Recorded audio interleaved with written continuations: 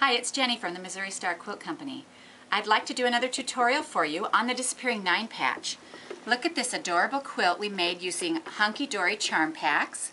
We used approximately two charm packs and we used a little bit for the border and a little bit for the outer border and we scalloped the edge.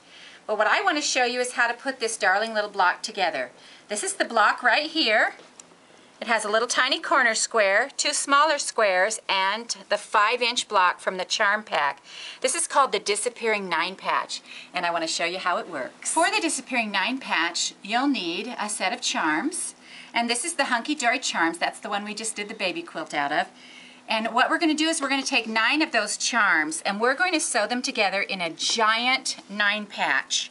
And so as you can see, this is not at all a matching uh, set, but it'll help you to it'll help you to see what I, I mean and it's just you know we're just going to show you this. So you sew all these together. You're going to sew them together at a quarter of an inch press them open. They'll all be together like this and then you're going to iron them and you're going to lay it flat on your counter like this. And then you're going to take your ruler and you're going to put it right in the middle.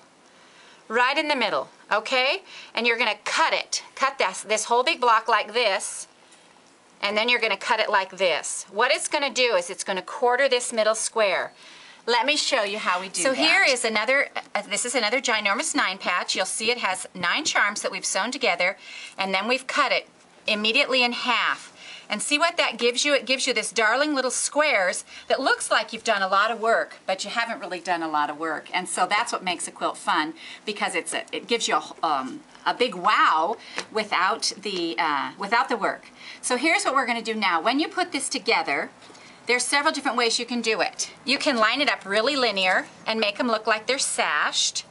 But my favorite way is to line up the seams so that no seams come together. So whenever you put a, you, the blocks next to each other, you just want to make sure that there's no, uh, no seams coming together. You don't have to match anything. And so you end up with this darling quilt that's, you know, the blocks are all over. I've seen this done several ways. One of the ladies did it in a, um, we're using Kansas Troubles, and she, her middle square was a black square.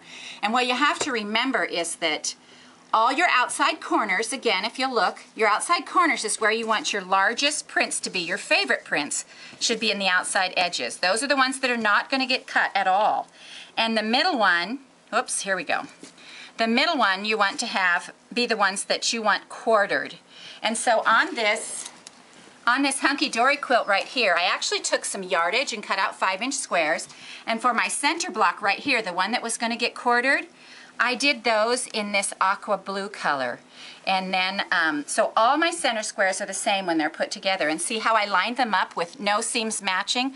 Makes really easy, quick baby quilt that's adorable. And then I took the, the aqua and brought that out into the border as well. So I hope you enjoy this fun tutorial on the Disappearing Nine Patch from the Missouri Star Quilt Company.